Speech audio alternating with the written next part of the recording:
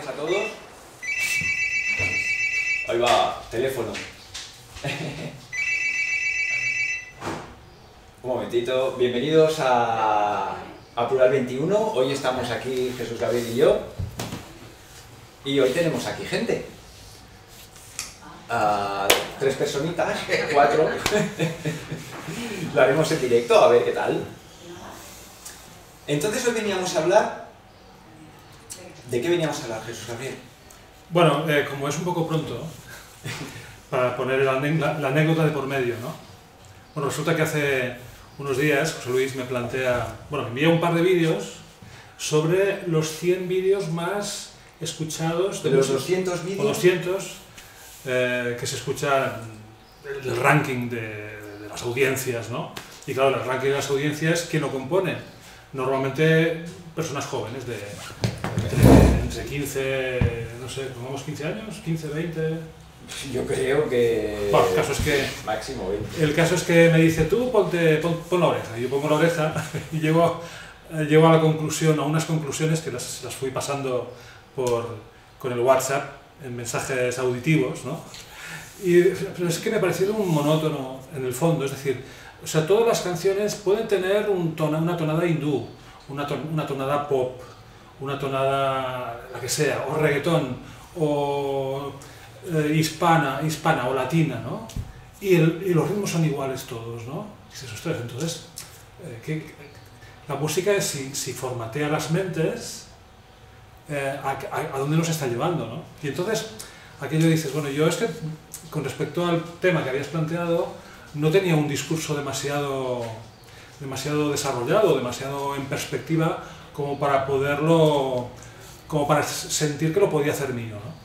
Total que un día, después de haber hecho estas visiones de los vídeos y tal, y estaba yo en el sofá y me levanto, o sea, que dices, ah, claro, esto es más antiguo, es decir, esto forma parte de un, de un ciclo que empieza hace bastantes años con el tema de las especialidades, o sea, cuando el conocimiento eh, empieza a especializarse, a crearse los chiringuitos, las capillas, eh, la ciencia se fragmenta, el conocimiento se fragmenta, eh, aparecen de la filosofía, se desgaja la psicología, la sociología, eh, de las ciencias positivas se desgaja la farmacia por un lado, la, bio- la biología por el otro, la, la- la medicina por el otro, y luego dentro de la medicina las especialidades, todas encapsuladas, todas aisladas unas de otras, ¿no?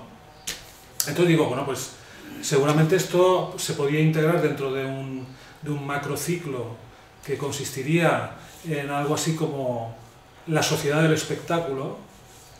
Es decir, la sociedad del espectáculo es la, la- sociedad de la distracción continua, en la que cada cosa que se hace genera un tipo de torbellino que hace que el torbellino aísle la cosa del resto de las cosas. Pero sin embargo, cuando, cuando nos ponemos a cierta distancia, vemos que todas las cosas que están encapsuladas en su algoritmo bailan a la par. No lo pretenden, pero bailan a la par. ¿no? Total, que antes de meterme en el tema, y te- puede tener relación, ¿eh? puede tenerla, ya la descubriremos mientras vamos conversando, el planeta Plutón, hoy, bueno, estos días, está en el mismo grado que estaba cuando la guerra de las harinas, la guerra del pan, que es lo que, lo que antecedió a la Revolución Francesa. ¿Qué pasaba? Que el rey estaba acumulando toda la riqueza para él y el pueblo pues cada vez más, más ¿cómo se dice? Más ahogado, más pobre, tal, ¿no? Hasta que en un momento dado una serie de factores y de personas que aspiraban a poder hacen una lectura, dice, esta es la nuestra, vamos a coger el malestar, el malestar popular, lo vamos a acercar a, nuestro, a nuestros propósitos y utilizamos el, mal, o sea, el malestar general para der- derribar al rey y colocar nosotros en, en lugar del rey. Entonces, digamos, si esto nos puede servir de ayuda para entender en qué mundo estamos ahora y en qué mundo estuvieron los que estaban justo antes de la Revolución Francesa, podemos, podemos entender que el mundo al- que vamos va a ser derrocado por sí mismo, bueno, está siendo derrocado por sí mismo, no sea que el pueblo haga algo y antes de que haga algo vamos a conducir al pueblo a nuestros propósitos, que es lo que, bueno, que es lo mismo de siempre, vamos, ¿no? Entonces, la última vez que estuvo Plutón al final de Capricornio Eh, fue con la Revolución Francesa. Justo antes. Es decir, porque entre la Guerra de las Harinas y la Revolución Francesa pasan unos años, o sea, no, no pasa todo de un día para otro. O sea, primero Plutón está en Capricornio, en los últimos grados, como está ahora, en aquella época también, en el mismo grado. Mm, Luego pasa a Acuario y cuando pasa a Acuario se detona la Revolución Francesa. Y entonces cuando aparecen los partidos políticos, los grupos, los grupos de opinión, las conspiraciones, cada vez hay más gente metida en el tema público, o sea, en el tema de la, de la política. Antes el tema de la política estaba, estaba vetado, ¿no? no entraba nadie más que el, que, el- el- el- quien, el rey quería, ¿no? Entonces, claro, cuando pasa todo esto, la Revolución Francesa empieza a ver la oportunidad, empieza a verse la oportunidad de ciertos grupos que hasta ese momento estaban en sociedades secretas, dicen, hostia, esta es la nuestra, con el lío que hay, vamos a aprovechar para ocupar, ocupar posiciones, ¿no? Luego, luego hay un retroceso, viene Napoleón, Napoleón sería el, el George Soros de la época, o mejor dicho, George Soros sería el Napoleón de ahora, Eh, y entonces quiere tomar tanto poder que luego se, se pega un tiro en el pie. ¿Qué es lo que creo que va a ocurrir? Entonces, ¿qué, qué- puede ocurrir? Pues que el, el nuevo orden, en aquel momento y ahora, no se acabe de definir hasta que pase bastante más tiempo. Entonces, entre la Revolución Francesa y cuando se instala el nuevo, el nuevo orden que hoy llamamos democracias parlamentarias partitocráticas en decadencia, eh, pues llegamos a 1848, que es cuando eh, se publica el Manifiesto Comunista y se inaugura la Asamblea Francesa que de alguna forma recoge los antiguos postulados de lo que se intuía en la Revolución Francesa, pero de una forma muy burocratizada, muy controlada, el bipartidismo, la derecha y la izquierda, que luego se aplicó en España con eh, Sagasta y quién era el otro, Cánovas del Castillo. O sea, Sagasta y Cánovas del Castillo era lo que hoy sería, o hasta hace poco, poco tiempo era PP-PSOE. Entonces, todo esto, mm, ¿a qué nos lleva? A que estamos en la sociedad del espectáculo. La sociedad del espectáculo que dices, esto es nuevo, no, ya venía del cristianismo. Es decir, eh, la antigua religión judía no era demasiado espléndida en cuanto a imaginario. Y si, si quería, mm, el, ideal monoteísta quería expandirse, tenía que adoptar una forma más seductora. ¿Cómo? Pues con imaginario, imaginería continua. Iglesias, san- santos, santas, tal, tal, tal, tal, tal. Entonces la, la sociedad que, que tenemos ahora, que es la que surge a resultas de 1848, coge justamente eso. Es decir, en realidad no es una nueva sociedad, es la misma con, otros con otros motivos, otros trajes, otros personajes, otras apariencias, pero en realidad, en realidad es lo mismo. ¿no? Entonces, eh, claro, dices, ¿qué- entonces ¿qué? el ciclo que empezó en 1848, ¿cuándo acaba? Para saber si esta, estas aberraciones que estamos viendo últimamente van a durar, van a durar durante, durante mucho tiempo, me pregunto yo como ciudadano. Pues eh, yo creo que habrá que esperar hasta el 2037. Y de aquí al 2037 lo que vamos a ir viendo es de aberración en aberración y, Y tiro porque me toca. y tiro porque me toca. Entonces, y acabo, acabo de redondear el tema, Sí, sí. en todo este ciclo hay cuatro momentos, cuatro momentos eh, est- estelares, ¿no? Que es el tema de la formación de la Asamblea en 1848, que da la pauta de todo lo que ha ido siendo eh, los parlamentos, ya, sea, ya sean en forma de dictaduras, es decir, el, parlamento franqui- el parlamento, o sea, las cortes franquistas es una herencia de ese momento. Y el Parlamento actual, incluso en las de- democracias teóricamente avanzadas, también son herederas de lo mismo. Dices, ¿cómo es posible que se pueda asimilar que las Cortes franquistas y el Parlamento, y el parlamento suizo estén, estén dentro del, mismo paquete? Pues sí, claro, porque forman parte del mismo, del mismo humus, ¿no? de la misma cosa.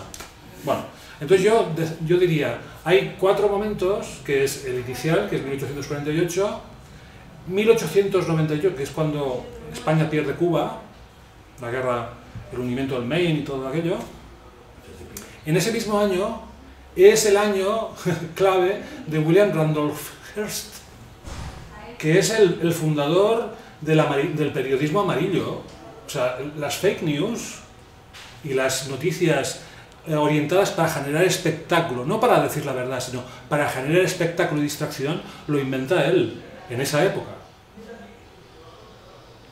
Entonces el siguiente momento estelar es el final de la Guerra Mundial, la Segunda, en cuanto... y ahí pasan varias cosas muy, interesantes. La guitarra eléctrica maciz, maciza, antes no era maciza, antes la guitarra era, eh, estaba la acústica y luego una pastilla que amplificaba, ¿no? Pero el, el, formateo final de la guitarra tal como la vemos hoy, que es maciza, o sea que lo que suena es el amplificador, no la caja de resonancia de la guitarra, mm, es de ahí, de, mil, de mil 1945, 46, 47, que es el centro del ciclo. Bueno, ahí también eh, el cine, o sea, el daguerrotipo... Espera, perdón. Sí. Entonces, el ciclo que empieza con... con 1848. Que es Plutón está... No, no, no, no. Ah, vale, vale, vale. Eh, digamos que está el tema de Plutón, la guerra de las harinas, unos cuantos años antes de la guerra, de, la guerra, la Revolución Francesa, eh, que pasan unos, unos, seis o, unos seis o siete años, que es lo que está ocurriendo ahora, y luego, eh, para meternos en el tema, pase de ser una, una herramienta de conocimiento del humano, pase a ser una herramienta de la manipulación del humano. Porque una cosa es conocer una cosa es conocer, es decir, yo quiero conocer qué es esto y yo no quiero, no quiero cambiarlo, quiero conocer lo que es. Pero hay un momento en que cuando ya he llegado al máximo de lo que yo puedo conocer, lo que al humano le interesa, al humano que está en la, en la cresta de la ola de lo tecnológico, es manipularlo. O sea, que, que esto que es ya no sea lo que es, sino lo que yo quiero que sea. Eh, y ahí puedes incorporar desde la tecnología, experimentación genética, eh, cruce de especies, y etcétera, etcétera. ¿no? Bueno, que eh, a partir de ahí, la, psicología industrial, la psicología industrial, que es, vamos a hacer que la gente, vamos a estudiar a la gente cómo trabaja. ¿Para qué? ¿Para comprenderles? No, para, aprovechar, para aprovecharnos de ellos. Vamos a conocer sus puntos débiles con el auxilio de la psicología industrial. Entonces, el otro momento interesante Ah, bueno, en ese momento, en ese momento estelar, que es el final de la Segunda Guerra Mundial, es cuando se inventa el transistor, que es una cosa misteriosa, que algunos dicen que el transistor se inventa a la vez que el caso Roswell. Es decir, que es posible que haya, alguien, haya caído una nave con, el nombre de Roswell o sin él, tanto da, y hayan capturado, captado, o sea, desmontado la nave y dicen, hostia, esto esto se puede aplicar al tema de cómo amplificar, cómo hacer televisiones, todo esto, ¿no? Y luego llegamos a 1992, que es la cuadratura, es decir, Eris Neptuno hacen una conjunción en 1848, hacen una cuadratura en 1898, hacen una oposición, que es el centro del ciclo, al final de la Guerra Mundial, la Segunda Guerra Mundial, y la última cuadratura, la última cuadratura, la última cuadratura que es el, el inicio del declive del ciclo, es 1992, que aquí pues tenemos los Juegos Olímpicos y la eclosión de Internet. Entonces la eclosión de Internet viene antecedida por una cosa, que es en los años 80 el CD. O sea, el CD, o sea, eh, lo digital. Que claro, los primeros CDs que se editaban, se editaban que eran remasterizaciones de, grabaciones Mm, analógicas. Entonces tú comparabas el, disco de vinilo y el mismo, lo, la misma música en, un CD y notabas que aparentemente el CD sonaba más, pero el, nivel de armónico estaba totalmente pobre. Y, hoy incluso, si tú coges un CD, incluso grabado ahora, uh, y, tomas un buen giradiscos con una buena peana y en un bloque de mármol, que es donde como, como, habría que escuchar los discos, porque si tú lo colocas un giradiscos, por más bueno que sea, en una, en una mesa que está hueca por dentro, pues no, no va a funcionar como, como, como en todas sus posibilidades. Entonces tú coges esto, un CD muy bien grabado o un documento digital muy bien grabado y tú coges el disco de vinilo igualmente bien grabado y el disco de vinilo suena mucho más profundo. A día de hoy, ¿eh? Pero es lo que hablábamos en las últimas conversaciones. ¿A quién le interesa hoy lo profundo? Si vamos con auriculares y con teléfonos móviles o con dispositivos USB eh, y no tenemos ni espacio para poder escuchar tranquilamente la música, porque muchas, muchas veces los espacios tampoco tienen la, la, acústica idónea como para poder disfrutar de la música. ¿no? Entonces, ¿para qué, ¿para qué vamos a hacer instrumentos que eh, aporten matices si, la, si, si el, el, medio no lo puede recoger y si el oyente tampoco está por la labor de, de exigirlo, ¿no? Entonces, bueno, yo llego a la conclusión de que estas músicas que me pasó José Luis hace unos días, eh, si esto es indicador de algo,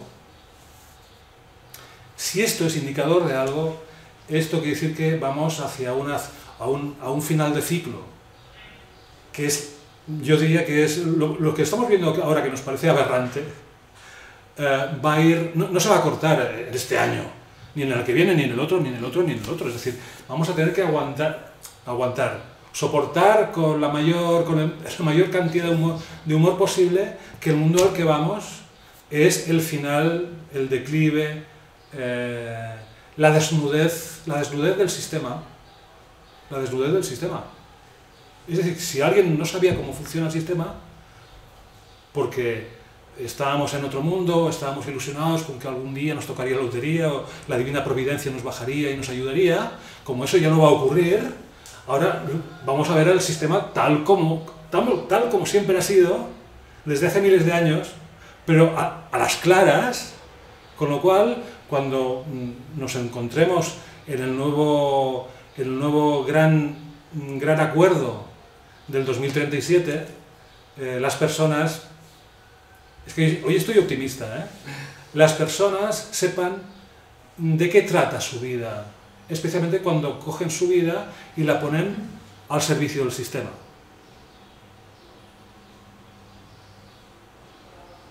Es decir, uh, nos hemos pensado que era el Estado el que, tenía, el que, el, el que podía empoderar a las personas.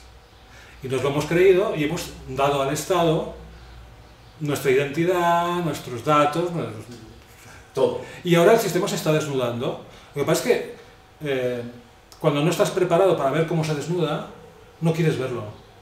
Pero esto es una cosa que hemos hablado últimamente, es decir, si ahora España y otros países que han estado afectados por la pandemia o por esa, esa, cosa que llaman pandemia, van a recibir millones para evitar que la economía no vaya más abajo de lo que va a ir, y esto viene dado por Bruselas o por el Banco, el Banco, el Banco Central Europeo, que sigue las órdenes de la Reserva Federal Americana y tal, y esta gente hace billetes de la nada, ¿por qué, ¿por qué pagamos impuestos? Es decir, nos habíamos creído que los estados funcionaban y ofrecían servicios a la ciudadanía porque la ciudadanía pagaba impuestos. Pero es que ahora ya vemos a las claras de que no va por ahí la cosa. Es decir, los estados recogen impuestos para pagar a los burócratas que nos controlan. Pero para pagar otras cosas, por ejemplo, la seguridad social, se paga con, con la manivela. Entonces, ¿qué ha ocurrido en los últimos años? Bueno, llegó la crisis del, del 2008, vinieron los recortes en sanidad y en, y en educación y tal, y las empresas farmacéuticas pensaron, esto nos va, nos va a fastidiar totalmente. Pero claro, cuando, cuando el médico te da recetas para que tú vayas a la farmacia y, y tengas los medicamentos, ¿quién gana con esto? Mm, las corpora los fabricantes. Pero si no, todo los, los gobiernos dicen que hay que recortar y si recortan mucho, tarde o temprano, el ciudadano tendrá que pagarse los medicamentos, si se tiene que pagar los medicamentos, quizás no se medique. Y esto es un peligro. Es decir, si yo tuviese cualquier persona que pagar los... Yo, yo, sé de personas mmm, que se toman 5, 6, 7, 10, 15 pastillas cada día. Dices, ¿quién gana con esto? Pues las empresas que fabrican los medicamentos. Si estas empresas que fabrican los, medicamentos ven que los estados recortan prestaciones en sanidad y esto genera un peligro de que la gente deje de medicarse porque no pueden pagar, ¿qué mejor que una pandemia para hacer un, golpe de Estado? Un golpe de Estado en que ya no están, ya no están los militares, están los médicos. Y están los médicos están optando a estar en la, en la parte alta de la pirámide del poder. Es decir, que el mundo militar pero que hemos... nuevo sacerdote. Bueno, de la vida. Antes sí, era sacerdote, ahora es el... Sí, pero antes fue el sacerdote, luego fue el general, el coronel. Ahora eso, como ya mm, tiene muy mala prensa, ahora será el médico. y el médico especialmente que está en la parte de arriba de la pirámide. Y luego estará la, la tropa, y la tropa verá cosas y no podrán decir nada. Porque además tienen los medios de comunicación a favor del médico que está arriba. Bueno, entonces, dentro de estas... Dentro de estas... Yo llego a la conclusión, y mira que se me acaba de ocurrir ahora mismo, ¿eh? la música plana, sin matices. yo, yo, veo estos vídeos y digo, hostia, aquí hay mucha creatividad, pero el resultado es plano total. O sea, tienen que haberlo pensado muy bien, ¿eh? Porque una cosa es hacer música mala, eh, chapucera, porque no, no, no, le han no, le han dedicado tiempo para pensar, sino una música plana, totalmente pensada, y esto tiene mucho mérito. ¿eh? Entonces llego a la conclusión de que estas músicas, ahora veremos alguna, salvo alguna excepción, aquellas canciones que se cantaban hace 20 años y se han colado dentro del repertorio, pero por lo general, yo digo que estas músicas vacunan a las personas para evitar que lleguen a cierta profundidad. Claro, digo, es que somos tan tontos. No, hay gente que se opone a esto. Hay gente, hay, hay, hay gente joven que no, no, comulga con esta idea. Pero por lo general, por lo general, deduzco, por alguna conversación que hemos tenido José Luis y yo, eh, hay un consentimiento total. Nos invaden de esta manera, aplaudimos. Como cuando yo le hice la pregunta el otro día, en el colegio donde van tus hijos, ah, hay, hay, ¿han consentido vacunarse? Sí, excepto mis dos hijos los hijos de él. Sí. Y dices, hostia.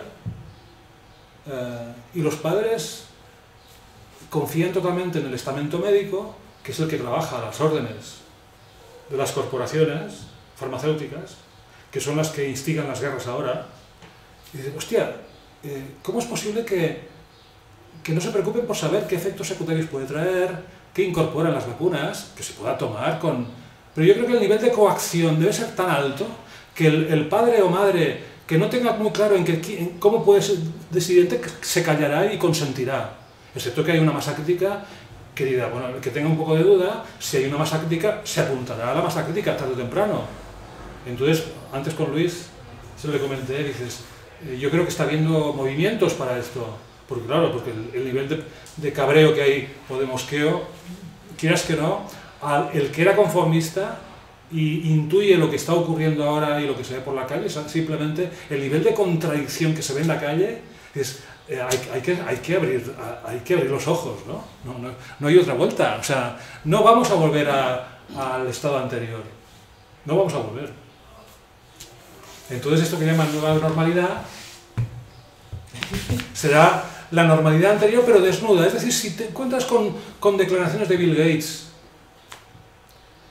que dice que él no aconseja, no aconsejaría a un padre que le permita a un hijo menor de cierta edad, de 15 años, que use ni tablet, ni ordenador, ni teléfono móvil. Entonces, ¿por qué? O sea, es decir, ya no, ya no hay ningún tipo de recato. Es decir, no es que Bill Gates lo haya dicho en petit comité, es que está en la, está en la red, lo dice claramente. Y dice claramente que él no, no vacunaría a sus propios hijos. Y yo digo, si eso está en la red, y, lo tenemos todos, ¿cómo es posible que la gente haga tanto caso a la, a la, orden dictada? O sea, es una cosa que no, no acabo de entenderla. Porque han sido educados en eso. Bueno, porque claro, es decir, eh, revertir el, discurso o crear un propio discurso debe ser algo muy incómodo, o sea, te, debe, te debe, llevar a tener sarpullidos en la piel, un nivel de incomodidad, pero tarde o temprano habrá que hacer, o sea, yo creo que estas personas, y yo creo que el, el el kit de la cuestión de la disidencia del futuro inmediato serán, serán los padres, los padres que tengan eh, a sus hijos en los, colegios, en estos colegios que cuando llega la orden de vacunar dicen amén y un día dejarán de decir amén, espero. Eh, habrá disidencia, me imagino, también en los maestros. O sea, disidencia en los, en los, padres, disidencia en los maestros, disidencia en los médicos, no en los médicos que hacen medicina alternativa, sino médicos que están en, en el sistema y que están viendo cosas que... O sea, ya te dije que estoy muy optimista hoy, ¿eh? Entonces, eh, ¿te parece, pensabas poner el, los vídeos que me pasaste? Sí. ¿Sí? Al hilo de esto. Y para explicarlo súper por encima. Que es una explicación súper superficial, ¿eh? Siete notas, siete chakras. ¿Mm? Cada nota tiene una vibración. Cada vez que escuchamos música compuesta de siete notas, lo que escuchamos, en el fondo lo que nos están haciendo es un masaje eh, a nuestra energía. O sea, tú oyes un tipo de música compuesta por unas notas musicales y lo que hace es bañar tu cuerpo en esa, en, esa frecuencia. Y tu cuerpo se va, se va adaptando a esa música. Eh, él dice, a mí me sorprende que con, las, con, con la, el nivel de contradicción que hay en la calle hoy en día, eh, la gente no esté como más... ¿Qué pasa? Claro, te han adoctrinado, primero te han escolarizado y en la escuela te han dicho, oye, un ejemplo.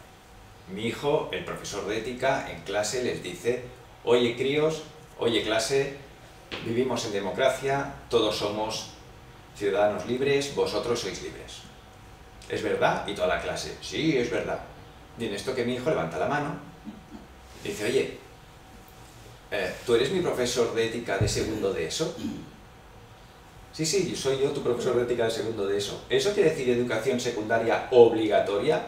¿La O es de obligatoria? Sí, ¿me puedes volver a decir, por favor, que soy libre? Es una contradicción manifiesta que un profesor de la ESO, que es obligatoria, se dirija a ti y te diga, eres libre pero no estamos educados en la percepción de las incongruencias. ¿Sí? Eso por un lado. Por otro lado, ¿qué sucede si constantemente siempre oyes las mismas notas? Tunta, tunta, tunta, tunta, tunta, tunta. Cambias de emisora y otra vez las mismas notas. Cambias de emisora y otra vez las mismas notas. Cambias de emisora, otra vez las mismas notas. Me he comprado un CD nuevo, lo pones en el en tu reproductor, puff, y otra vez las mismas notas. Que al final tú siempre funcionas del mismo modo. Porque estás, acostumbrado a, ese, a, ese, a esa vibración. Vamos a ver qué nos dice Aldo Narejos de cómo es la música que escuchamos. Vamos a poner el vídeo. ¿Cuál es? La armonía es la misma. ¡Ah! ¡Es una estafa! Es muy sencillo. Son cuatro acordes. Sol mayor, Re mayor, Mi menor y Do mayor. Voy a repetir estos cuatro acordes sin parar y vamos a ir viendo la de canciones que se pueden cantar sobre esta base musical. Ave María, ¿cuándo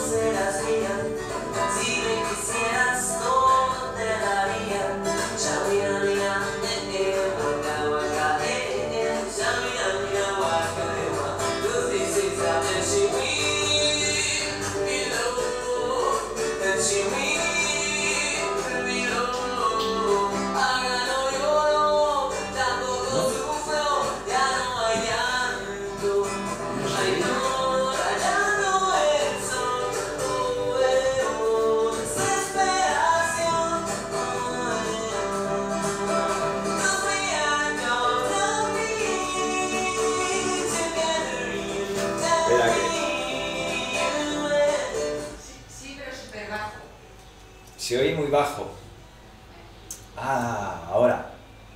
Creo que lo he solucionado.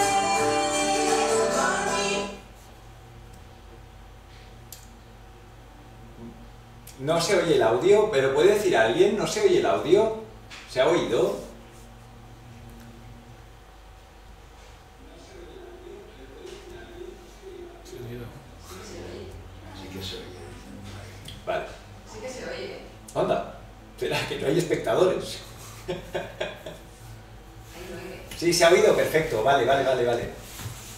Entonces, a lo que íbamos. Que nos hemos encontrado.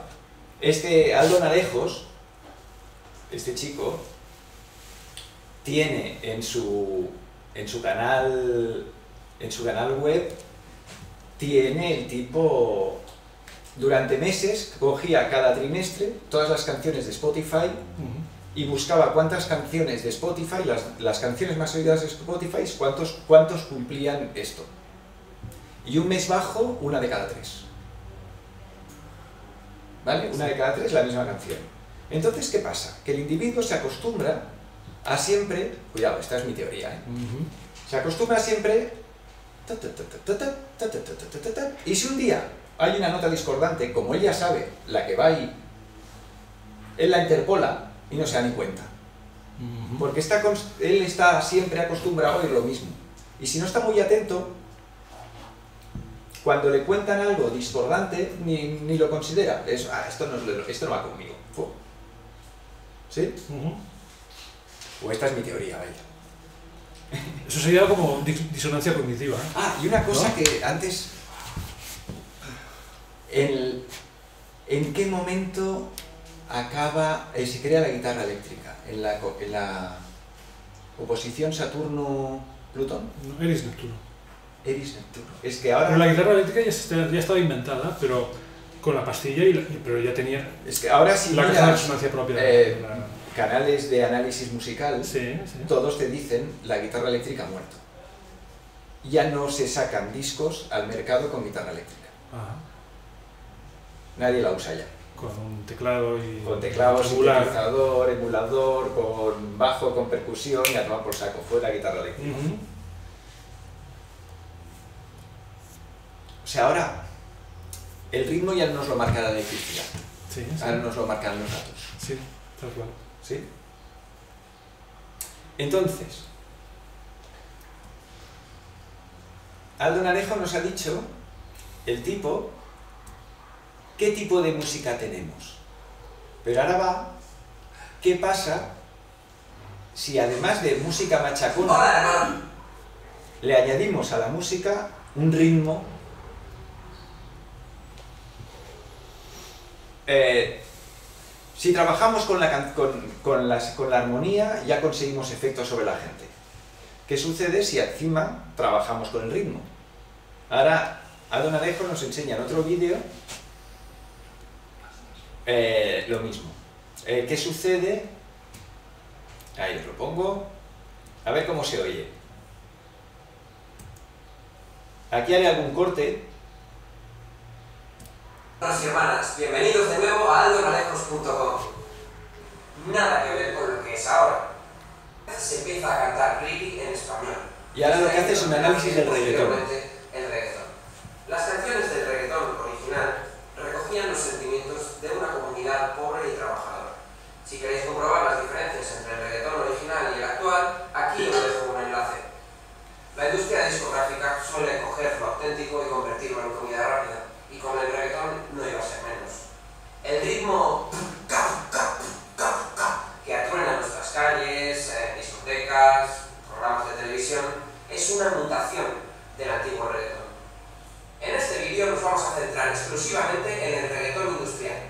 Veremos curiosidades sobre su estructura rítmica y sobre su estructura armónica. ¡Vamos allá! Alerta con lo que dice. ¿eh? El reggaetón presenta una novedad en las pistas de baile. Pasamos del al para entenderlo vamos a poner una matriz gráfica. Abajo, izquierda, derecha, arriba. Un, dos, tres, cuatro. Y el reggaetón. Si veis la diferencia. La segunda caja lo que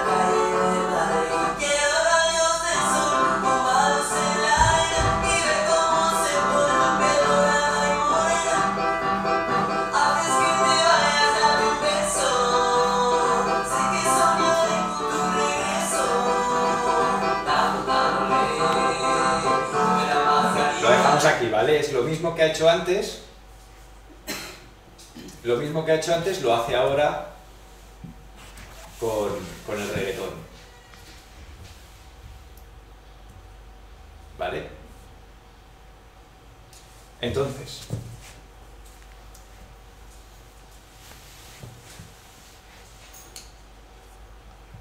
consiguen cambiar la estructura emocional del sujeto utilizando ritmo y utilizando armonía.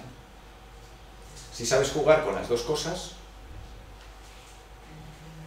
pues ya tienes lo que deseas, que es eh, un sujeto con la emoción que tú deseas y con la forma de, de surfear la realidad que tú deseas.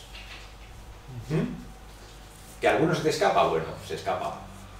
Pero el tipo cuando vaya al súper y tenga la música en el hilo musical, va a oír esa música. Cuando vaya, cuando ponga la radio mientras se ducha, va a oír esa música. Al final va a oír siempre lo la misma música. Pero esto lo tiene en cuenta la gente. Esto, el sistema político lo tiene en cuenta. Sí. Total. Habla mientras busco yo un vídeo que me pasaste tú. Sí, bueno, antes comenté que el, el centro del ciclo, que, que he comentado antes, fue la fundación del Instituto Tavistock, que es un instituto orientado, una vez se ha, forma- se ha formulado la psicología orientada no al conocimiento, sino a la manipulación, a diseñar modas, diseñar música, diseñar cine, diseñar mensajes. ¿no? Eso fue en el centro del ciclo. En el cuarto último, o sea, en el último, la última cuadratura, que fue en el año 92, eh, aparte de ser la invención de Internet y tal, también es la cuando aparece el libro de Daniel Goleman, si, o- si os suena, Inteligencia Emocional, Mm. Que ese libro se utiliza mucho en escuelas de coaching, escuelas mm, gestal, escuelas de todo tipo, incluso en los departamentos de, recursos humanos de las empresas, de tal manera que eh, los jefes de departamento de recursos humanos saben tratar cómo hacer que aquel empleado al cual le vas a perjudicar en sus derechos te aplauda por hacerlo. O sea, es decir, el nivel de... ¿Cómo hacer que aquel que vas a perjudicar te dé la razón? No es que, no es que Daniel Goleman sea una persona perversa, sino que él dejó, dejó escrito para que luego se utilizasen sus, sus aportaciones de la manera que han sido utilizadas. Es como, es como decir que el darwinismo, la, culpa del darwinismo es de Darwin, no. No, la culpa del, del- del darwinismo es de quien usaron lo que, él lo que Darwin dejó para fines, para fines perversos o, o per- o fines tergiversados, ¿no? Que esto es lo que antes hablábamos, es decir, está, eh, hay una idea que es positiva en sí misma, pero al cabo de un poco tiempo, el uso que se le da, el uso que se le ha ido dando, ya no responde a la bondad, sino a la maldad. Y es la misma idea. Es decir, cuando una cosa se empieza a tergiversar. Por ejemplo, Claro. eh, cualquier cosa, cualquier cosa que os, que os pase por la cabeza que haya tenido en un primer momento una buena intención, a la que se convierte en institución, o sea, en, en uso, uso habitual, ahí pierde la intención y gana eh, la, parte, la parte perversa. Sí. Entonces, del Instituto Tavistock Sí. no solo se encargan de, la de- de los recursos humanos, también de ahí salen los sistemas educativos de las escuelas. Y los temarios de las escuelas, al final sale de ahí, el- el- los programas de estudios emanan de ahí, y luego cada país, con lo que se ha emanado de ahí, se lo gestiona a su manera. Sí. Pero al final es un sistema. ¿Cómo empieza el Instituto Tavistock? Además, una, una de las. se monta para tratar traumas de soldados de guerra. Y es, uy, ahora es sí. muy buena, muy buena. O sea, esta es la primera intención. La intención, digamos, oficial.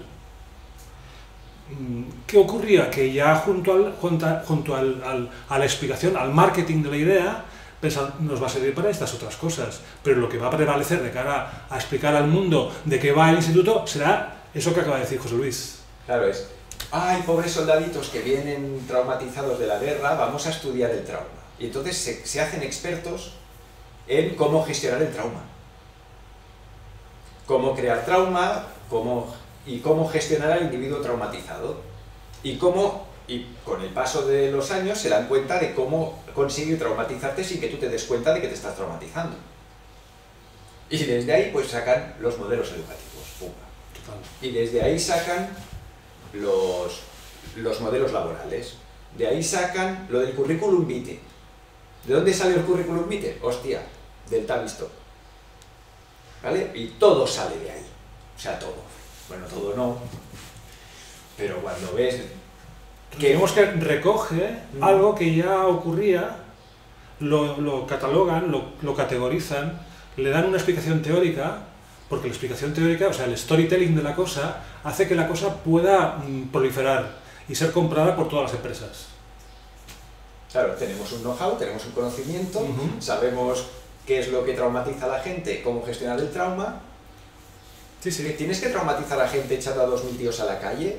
Sí, pues yo te explico cómo gestionar ese trauma. Sí, sí, sí, sí, sí, sí, sí. Y se aplican, saben hacerlo muy bien. Había otro detalle que quizás eh, igual, igual, igual viene a te- se tercia. ¿eh?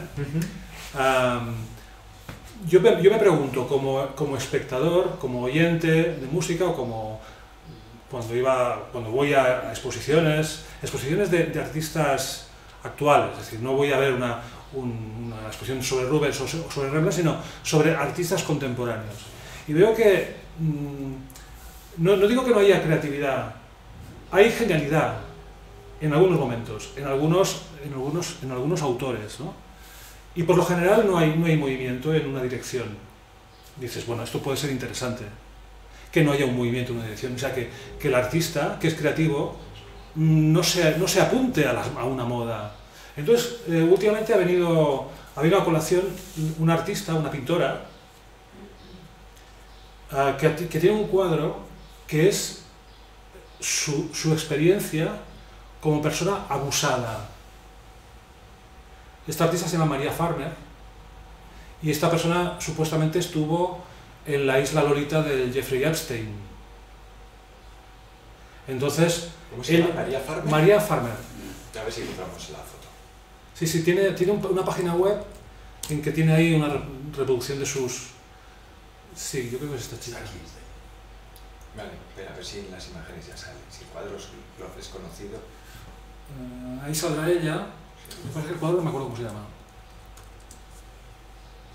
Bueno, sigue, sigue, explica. Bueno, entonces, eh, a la conclusión a la que llego es, hoy en día, eh, como no hay tendencias, no una tendencia, sino varias tendencias, el artista que se precie y quiera llegar a cierto, a, a ocupar espacios en los medios de comunicación para, para poder vender su obra, tiene que tener un, un storytelling en el que sea, haya sido víctima de algo. ¿Es esta? No. Debe tener unos cuarenta y pico de años. Vale, vale, vale. María Farmer. Quizás si lo pones en inglés, o sea, fuera de la draws o, o paints. Vale. Eh, ahora tienes que ir a imágenes.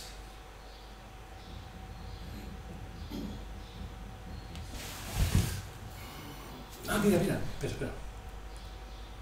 Este aquí. Este, el amarillo, el parece el del Bosco. Parece.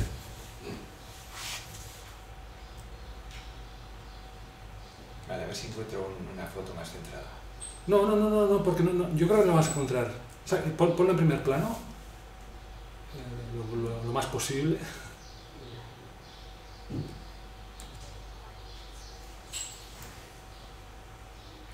Ahí, Sí, bájalo un poquito y ya está, lo veremos enseguida. vale. ¿Ves ese cuadro? En ese cuadro está todo lo que ella ha querido mostrar de su experiencia como persona ah, abusada, ¿no? Espera, que, que lo pongo que la gente lo vea.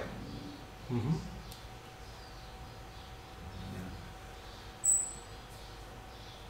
Es este el cuadro.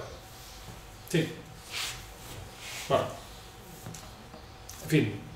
Lo que quería decir más que nada era ah, por ejemplo, hay otro, otro, otro artista que ha adquirido cierta, cierta relevancia como pianista, James Rhodes, R-H-O-D-E-S, que tiene, bueno, está vendiendo discos tal, pero quizás es por su porque es muy buen pianista bueno, puede ser que sea muy, muy, muy bien pianista, pero la- el- el relieve que ha alcanzado es porque es una persona que ha, ha sufrido abusos en su infancia.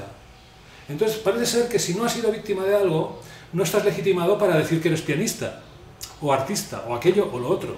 Y eso lo he experimentado yo. Hazme caso que mi infancia ha sido muy dura. Sí, sí, ya, por ejemplo, cuando yo he publicado unos libros, pero en el último, en de los últimos libros, eh, la, la- la editora me dijo, he conectado con uno de los que hacen la contra la vanguardia.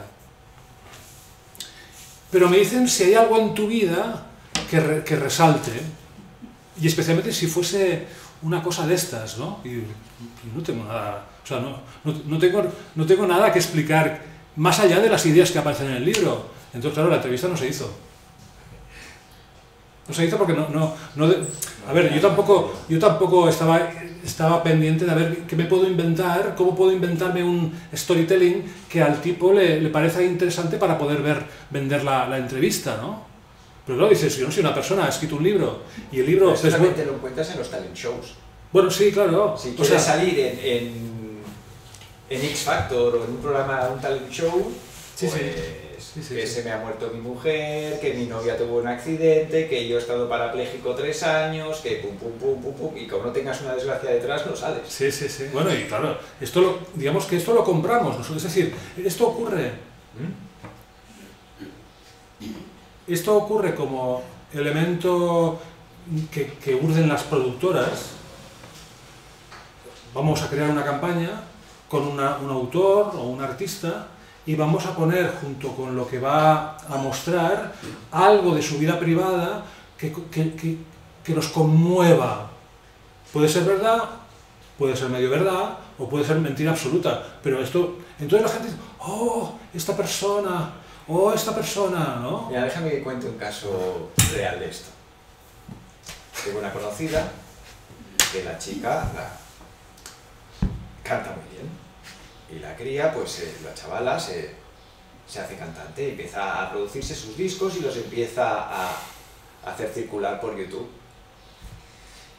Y una la- los amigos le dicen, oye, con lo bien que cantas, ¿por qué no te presentas a X Factor o X Factor o Got Talent, un programa de estos? Y la chica mira y se da cuenta que la productora tiene abierto el casting en, en el programa de Inglaterra.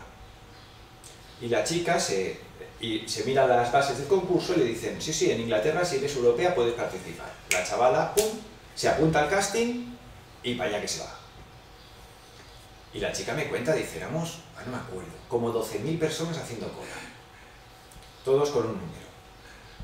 Y allí pues venían los de producción, oye, y te trataban súper súper bien. Tienes sed, tienes frío, ¿y tú de dónde vienes? Y te iban haciendo preguntitas y oye, que te traemos un agua, te traemos un cojín.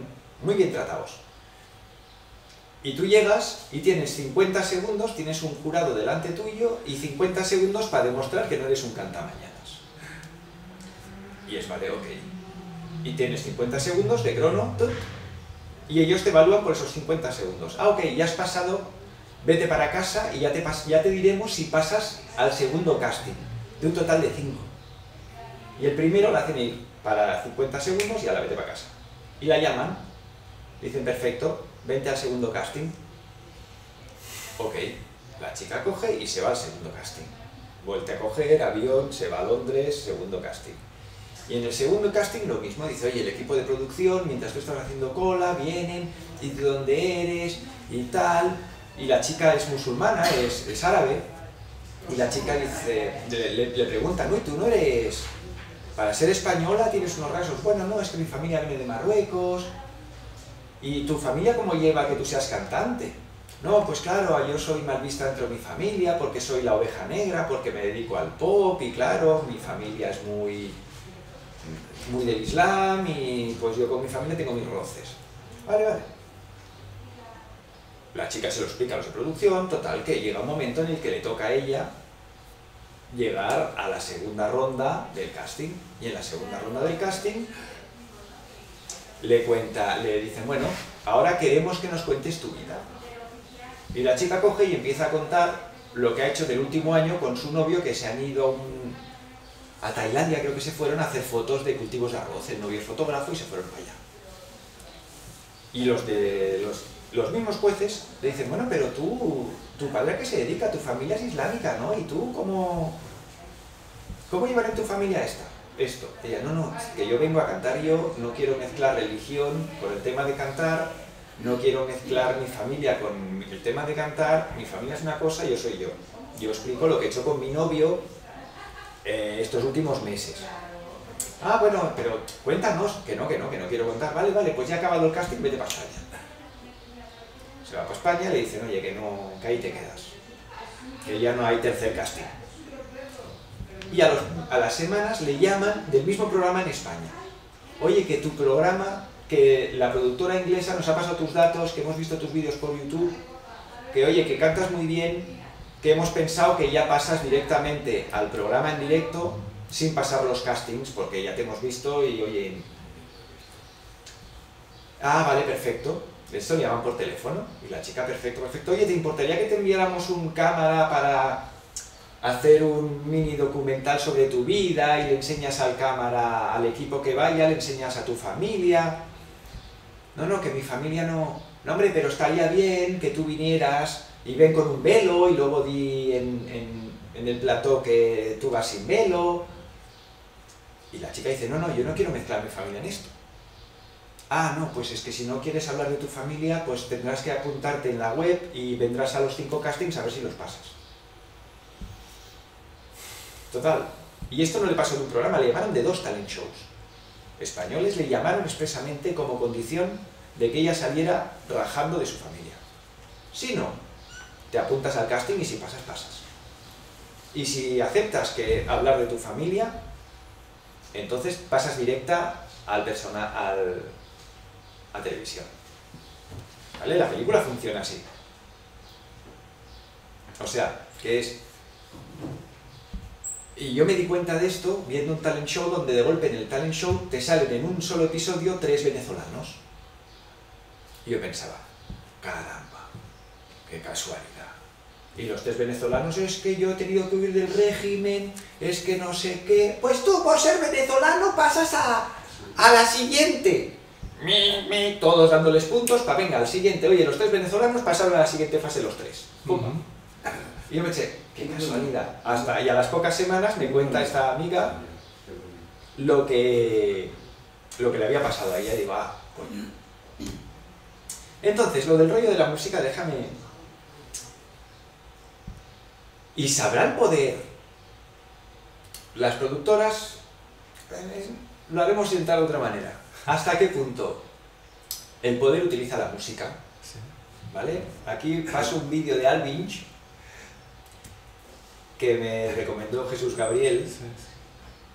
Pasaremos 3, 4, 5 minutitos porque es interesante. Yo entiendo que... Ahí va.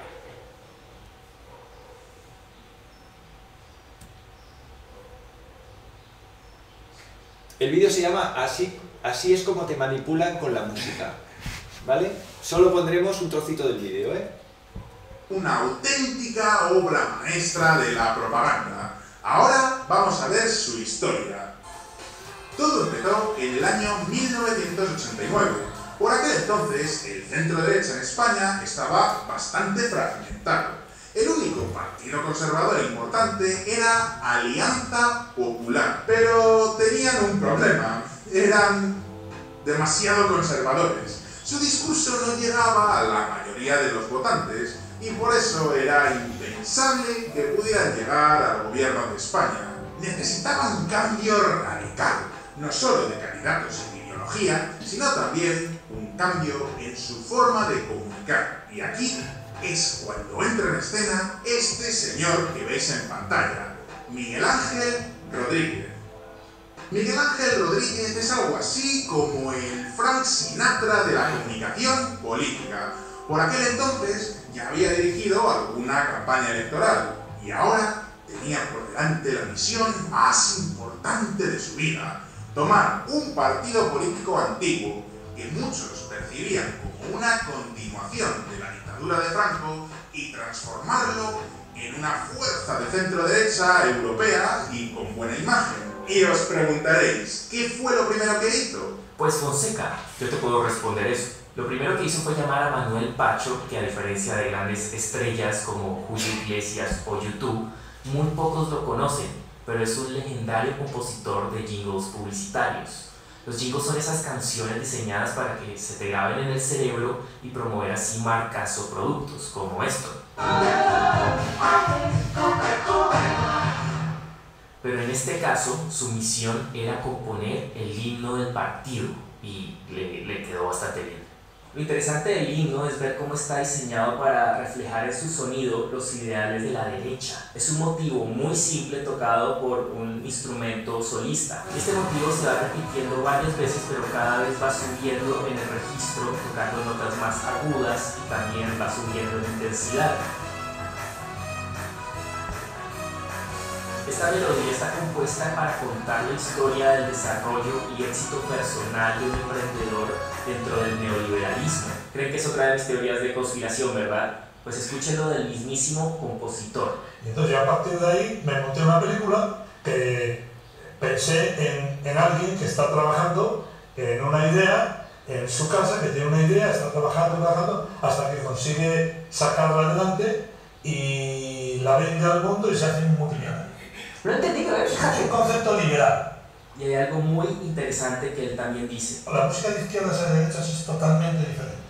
La música de izquierdas es grande, ampulosa, tiene mucha enjundia. Y tiene toda la razón, tiene sentido que suene así la música de izquierda con varias voces cantando en unísono, si tenemos en cuenta que la idea del socialismo suele hablar sobre el poder del pueblo unido, enfocado en un objetivo común. Escuchen la diferencia. Ahora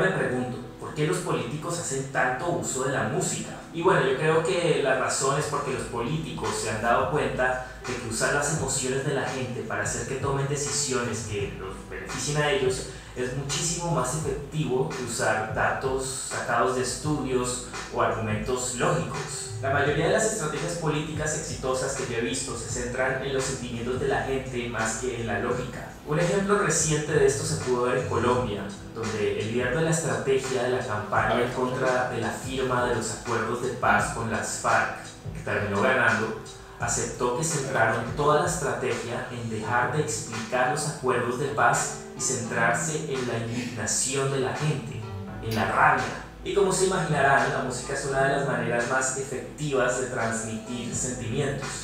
De hecho, al escuchar música, nuestros cerebros generan dopamina, que es un neurotransmisor que suministra los sentimientos de gozo y refuerzo para motivar a una persona de manera proactiva a fin de que realice ciertas actividades. Y la dopamina también está presente cuando tenemos sexo, cuando usamos drogas, cuando comemos o hasta cuando nos sentimos enamorados. La música tiene un efecto profundo y trascendental en nuestros cerebros y los políticos lo saben.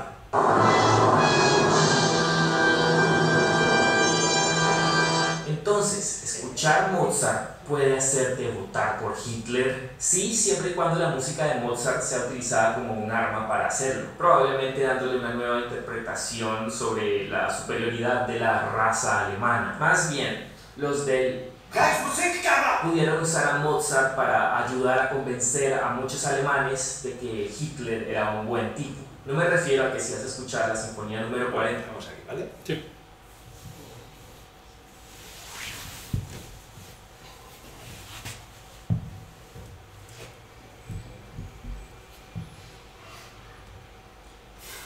¿Qué? Entonces, es evidente que con la música consiguen hacer modular las emociones y la forma que tiene el sujeto de surfear por su realidad. Los políticos lo saben y lo utilizan. Los que sonorizan películas lo saben y lo utilizan. Y nuestros hijos no lo saben y son utilizados. ¿Mm? Entonces, eh, con mis hijos tengo en- el verano pasado, en nuestra casa fue el verano pasado que cambió el tema de ya, ahora cada vez es más normal que en las casas no se vea televisión. En las casas se ve por la noche, se ve YouTube. Y este tránsito en mi casa fue entre el verano y las navidades pasadas. Y con mis hijos, papá, papá, pongamos este vídeo. Entonces descubrimos una página web que cada mes saca el listado de las 200 canciones con más, más veces reproducidas en YouTube en la historia de YouTube. Entonces cada mes te sacan el listado de las 200 mejores. Y tú puedes ir viendo cada mes cómo va cambiando el orden. Lo vimos en verano, lo volvimos a ver en Navidades y dices, hombre, han habido cambios. Y el otro día, con los críos, salió el tema y dije, ostras, será interesante ver, después de tres meses, encerrados en casa, consumiendo YouTube por un tubo, porque yo no, no sé los hijos del resto de gente, pero los míos han hinchado a ver vídeos. A ver cómo ha cambiado desde las navidades hasta aquí el listado de las 200 canciones más vistas.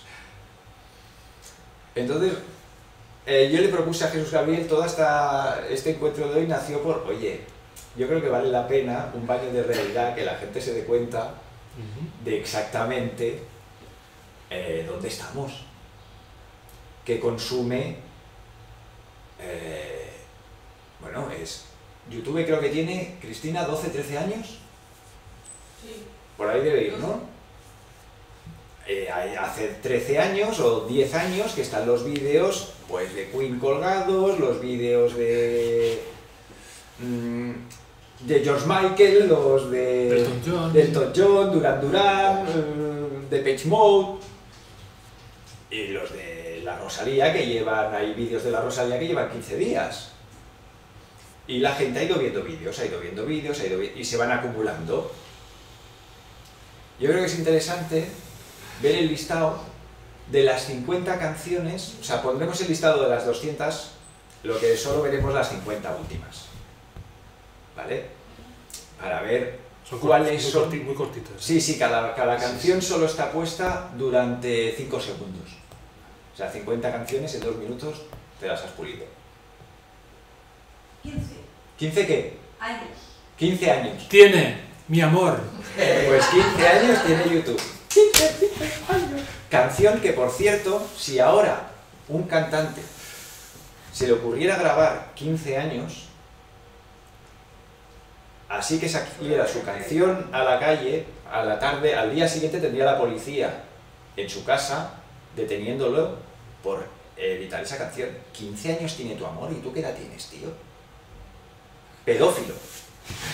Incitación a la pedofilia, al tío le caería un paquete. ¿Sí o no? Entonces, así, las 200 canciones. Solo pondremos ahí cada uno que se haga su película sobre qué tipo de gente consume YouTube. Eh, hay que valorar que hay vídeos que llevan 10 años en YouTube y vídeos que llevan Tres días. 3 días. Entrado en 3 días, pues no puedes almacenar miles de millones de visitas. Ahora veremos vídeos que llevan 3.000 millones de visitas. 3.000 millones.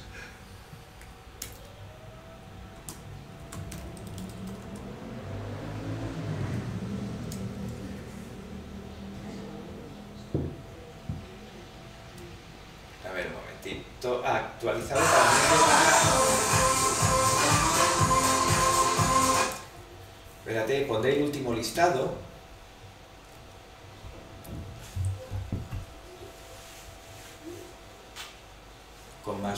con más visitas.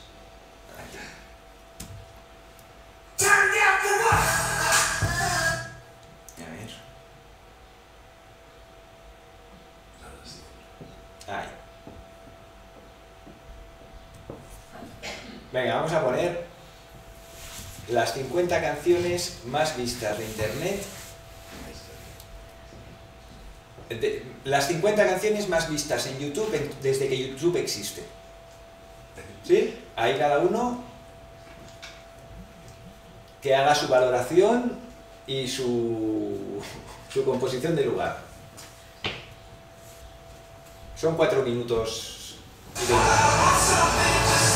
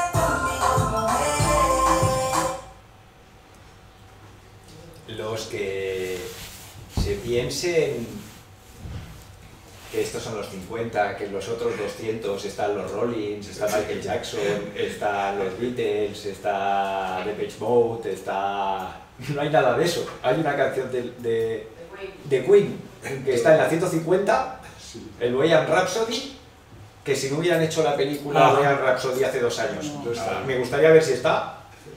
Y ya está. No hay nada más. Dame tu cosita. ¿Os ha llamado la atención lo que, lo que habéis visto? Sí, es que yo ya lo había visto. Pero una cosa es lo que se oye ¿eh? Sí, sí. y otra cosa es lo que se ve, que también, Sí, lo que sí. se ve también influye. no, ¿eh? no, no. ¿Qué habéis visto? Todo igual. No, pero, ¿Tetas? ¿Culos? Sí, sí. Ah, bueno, sí. eh, escenarios lujosos o irreales Exacto. exacto. o eh, grandilocuentes. Claro, dices, yo, yo veo eso y, quisiera acercarme, porque lo normal es que el oyente, si es joven, quiere emular. Dices, ¿cómo voy a emular una cosa que me presentan así si no, hay, no tengo los espacios necesarios, ¿no? Como para... Por ejemplo, en la época del pop, los años 60, los, los escenarios no estaban alejados demasiado del público en cuanto a un público, una persona que supiese tocar la guitarra podía pensar que algún día podría entrar ahí. Pero ahora está clarísimo que o te fabricas una personalidad que encaje en, el- en la artificialidad que, que se demanda o no hay nada que hacer. Entonces, La utilización. ¿Eh? ¿Dónde pones la utilización? la...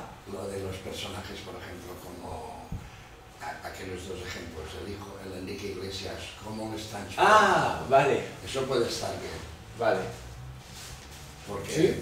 De la manera que ca- Bueno, es que, es que está mi padre aquí y ayer le hice, papá, mírate estos sí, vídeos les he visto y, y entonces le pasé un vídeo que ahora no pensaba pasar, lo paso, ¿vale? Claro. Sí, sí. Que No, es ahí, que hay la un- utilización descarada para conseguir el objetivo pretendido. Eh, claro, ahí te están poniendo música machacona y plana. O sea, que es que todas las canciones... Y si, si veis la lista, el listado de las 200 canciones, os daréis cuenta que las 200 son la misma canción. Sí, sí, eso es. ¿Vale? Con alguna excepción, que hay alguna que cambia de armonía. Espera 5 minutets, Pilar, sisplau. Hay que ser perfecto. salvo alguna que tiene una armonía diferente, pero es la misma canción 50.000 veces. Y en lugar de ser en el palacio tal con la chica rubia y las tetas gordas, es la chica rubia con las tetas gordas en, eh, en la piscina de lujo. Otro es, es lo mismo. Pero, en los años 90, empezó a, a salir una tecnología que permitía que, el- aunque el cantante no, subiera, no supiera cantar, Sí. pudiera cantar. ¿Sí?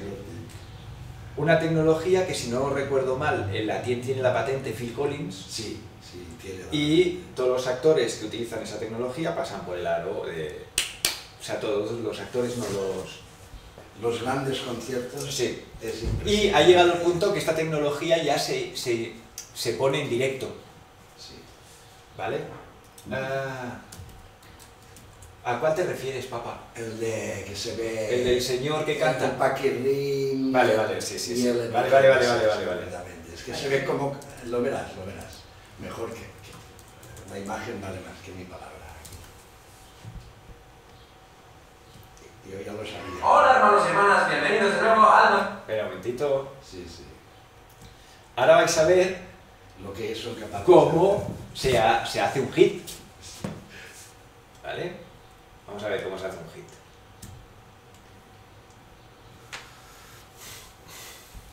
Ahí va. Venga. Hoy vamos a descubrir cómo funciona el maquillaje digital de la voz. ¿Cómo convertir esto?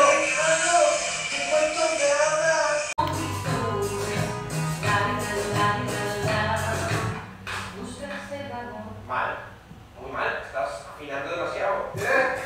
Está la persona que busca. Un profesional del desafine. Vamos a verdad. Hombre, ya verás, 40 años desafinando. Pues Prueba, prueba. Por esa soledad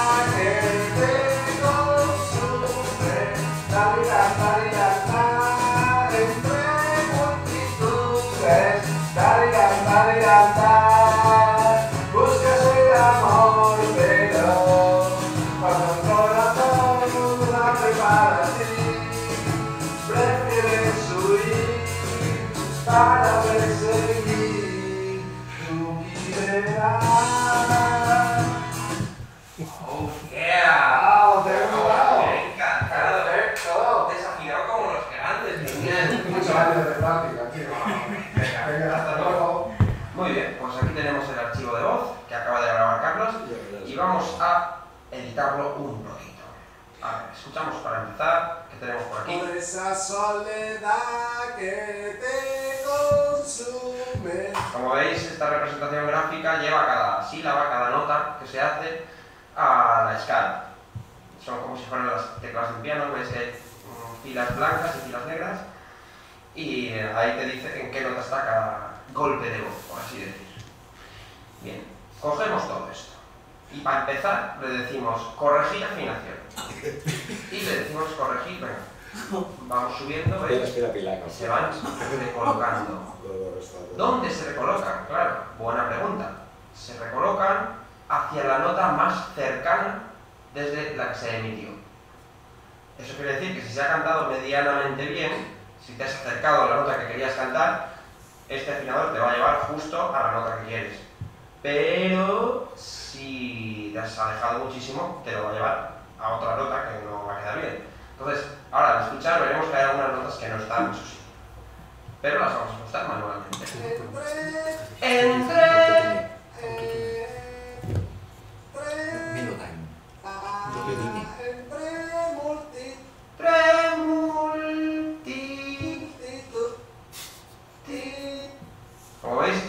Estar subiendo la mayoría de notas. Quiere decir que cantó más bajo de lo que es. Desafina por abajo, Carlos.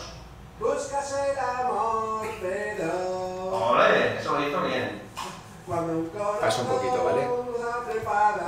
Aquí no dijo bien la palabra, intentable, y eso no lo general de casi todos los cantantes, pues sé que ese era el objetivo. Fijaros, ¿cómo sería normal? Por esa soledad que te consume. Y si quitamos esos matices de voz, lo dejamos totalmente robótico,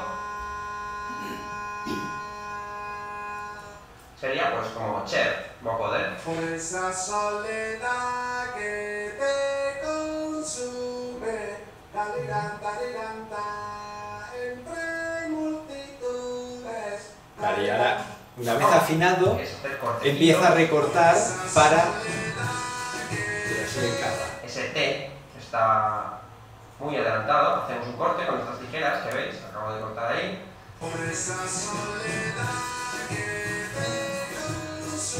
Vale, el T con está acelerado, pero el su ya está en su sitio. Por lo tanto, pegamos un corte aquí, bueno, vamos a hacer un poco cutrillo para que podáis ver rápidamente cómo funciona. Bueno, como veis, es esto. Vamos a hacerlo con todo. Supongo que Pero ahora en el vídeo todo lo que estoy haciendo. porque se acaba de- Esto solo queda ver qué tal queda esta voz en la cara de nuestro sujeto experimental. Vamos a verlo. Por esa soledad que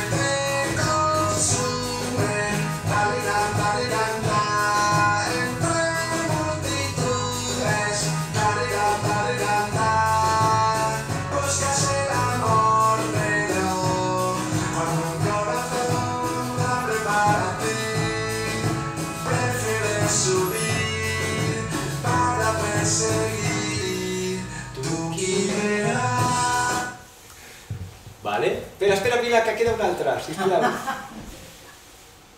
Entonces, ¿qué sucede? Que esto es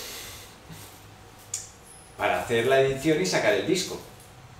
Pero es que está esto mismo, que tú vas, subes al escenario, en el Claro, escenario en cantas y en directo te lo hace. También. Sí, sí. La primera actriz, corre la leyenda urbana, que la primera cantante que empezó a utilizar esto en sus espectáculos fue Madonna. ¿Sí?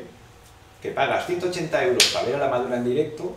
¿Y qué te está haciendo la Madonna? Ahora veremos cómo funciona esto Ju- mismo. Julio Iglesias lo hacía en el liceo hace 10 años. No salía nada, o sea, él hacía, cantaba, pero todo lo que llegaba al público era, era todo un, un procesado por, por, por- por- por inventos como este. ¿eh? Pero tiene un punto eléctrico. Sí, pero el, el punto eléctrico, si tú desafinas mucho, entonces para que quede bien le tienen que poner el punto robot este. Lo que ha dicho de la... Si tú no desafinas demasiado, el punto robot este no se lo No se pone. nota. Pero hoy en día pones la radio y verás que el, yo creo que el 70% de la música actual tiene el, el puntillo. Y ahora lo veremos en directo. ¿Vale? Con una canción que es muy complicada. O sea, es una, la canción de Titanic, que es la que vamos a ver ahora, es una canción que los que sepan un poquito de canción es complicada de cantar, no es fácil, no es sencilla. ¿Eh? Y ahora, ahora veremos de qué va. Primero hay el chico cantando a capela y luego activa el sistema.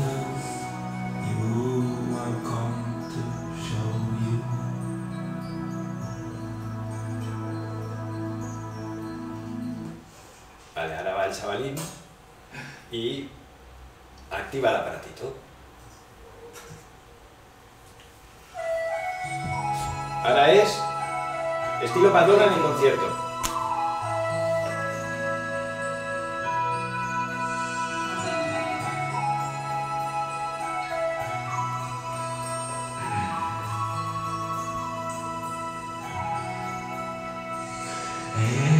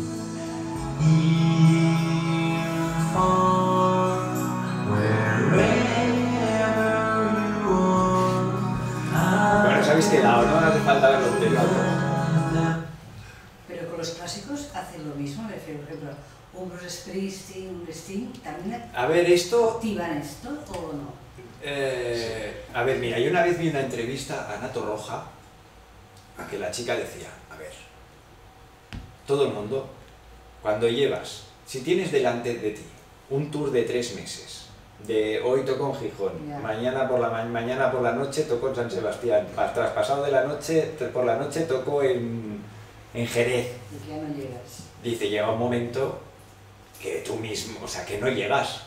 Entonces empiezas a utilizar playbacks en, en los espectáculos.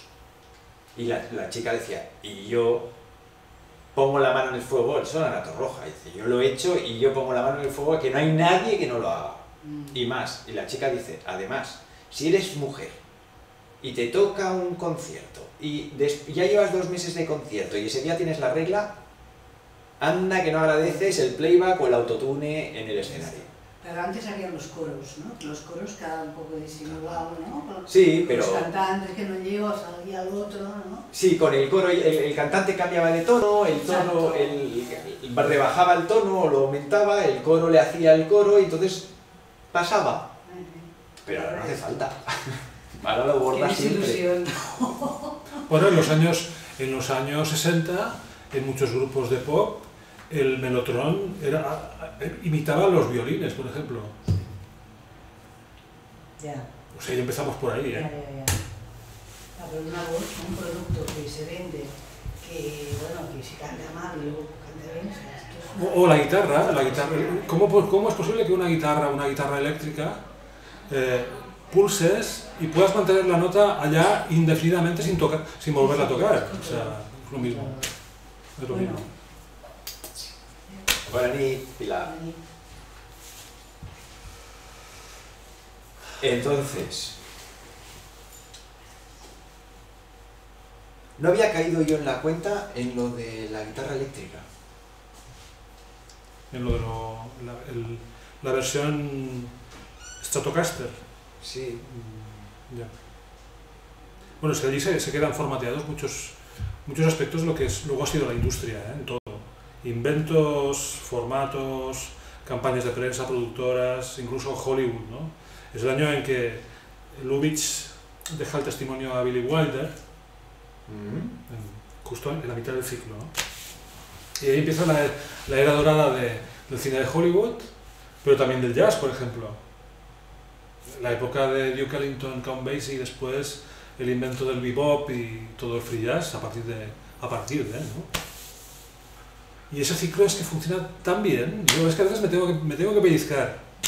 Pero ¿Cómo es posible que, un- que dos planetas tan alejados mm, influyan en, este, en, en estos aspectos, ¿no? Pues ¿Y cuáles son? Eris Neptuno. Eris Neptuno. ¿Y qué juega esa, esa conjunción? Bueno, claro, si empieza con El la, poder, la salud. Las la- formas. la- la- o sea, la abducción. La abducción. O sea, ¿tú, tú te imaginas aquí un péndulo? Un péndulo, el, el botafumeiro.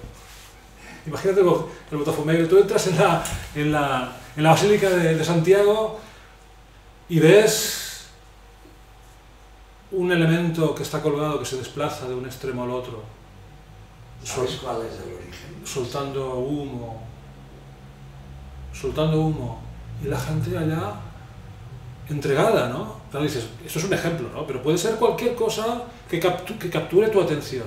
Entonces, como la, psicología ya había avanzado bastante como para saber cómo hacer que la gente pueda mantener la atención en cosas que no le tienen que no tienen motivos para que les interesen. Es decir, lo normal es que las personas el elemento prioritario donde pones tu atención sea tu interés, no el interés de la industria, sino tu propio interés. Pero cuando el propio interés está obnubilado por el interés de la industria, a lo que prestas atención es el propósito de la industria, o de la política, o de aquello, o la- o del otro, tanto da.